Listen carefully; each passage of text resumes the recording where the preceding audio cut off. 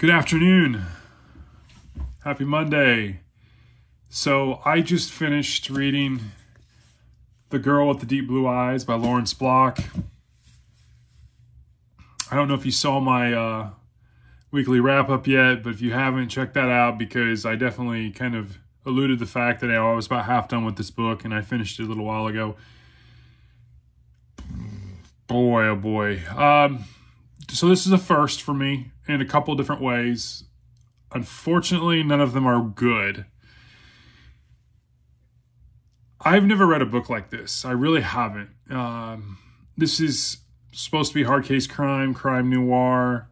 This was published in 2015 by Lawrence Block. At face value, this should be completely the book I love. And, it, you know, it's about this guy named uh, Doak Miller. He's spent 24 years at the NYPD. He moves to this small little town in Florida where he operates as a PI and living off of his uh, NYPD pension. Does different jobs for the local police there, kind of thing. You know, lives a pretty quiet life, seems to be kind of a ladies' man. So this particular kind of so why are we here? You know, is he's you know given this assignment where he basically the local police is in is fears that there's this uh, wife that's trying to set up her husband uh, to be murdered, and she's trying to hire a hitman, and they put kind of uh, Miller on the case and try to get him to wear a wire, and you know he meets the girl initially and then tries to set up this meeting and does he go through with it? Does he have feelings for? Where does this go and that's where kind of the that's basically the, the premise of the book. I'd like to say you know well if you don't want spoilers turn it off but there, i'm not really going to spoil it because this is going to be a pretty quick and devastating review. I mean as i said earlier in my wrap up i mean i haven't read a book like this in, in the sense that this contained story is so strongly strongly sexual in content and I'm just shocked by it. I'm honestly, I mean, I knew Block wrote uh, erotica when he first started under different pen names, you know. So, okay, fine. You know, that's not my that's not my cup of tea. I mean, to say I was blushing through this book, I mean, definitely is an understatement. I mean, there was parts in here it was just it just so unnecessary, especially some of the parts really where you're learning about the plot moving forward and you're getting some introspective takes on the character, you know, the main character, the antagonist, the protagonist, and they're doing it in a in in a in the middle. You know, it's just it's just over the top. Like it degrades from any enjoyment in what crime story we have here to the point where it just overshadows it. And the only thing I can say is this was a quick read obviously you know i was half done this morning and i finished it.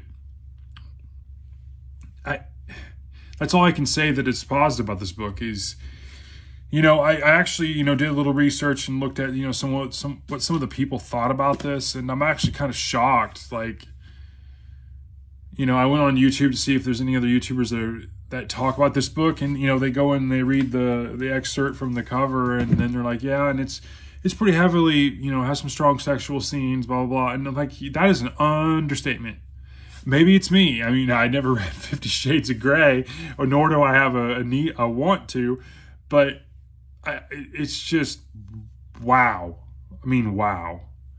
I was really shocked. I, I just, it, I, every now and then to have, you know, a reference, a sexual reference, I mean, is shocking enough. I just, the, it was so repetitive and it was so unnecessary. I mean, it doesn't bother me per se to hear people talk like that.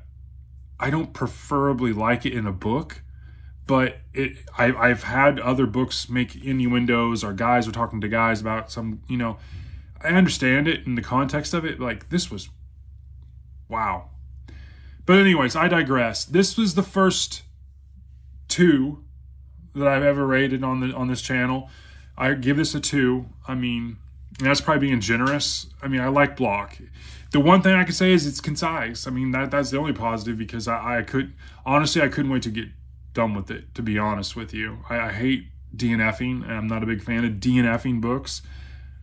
I was close. I mean, and then uh, I don't know. It, I was close to several occasions, just be like, no, this isn't for me, and kind of thing. But, anyways, that's a review. Uh, Lawrence Block, The Girl with the Deep Blue Eyes, 2.0. I do not recommend this book unless you're kind of you you like reading that kind of thing.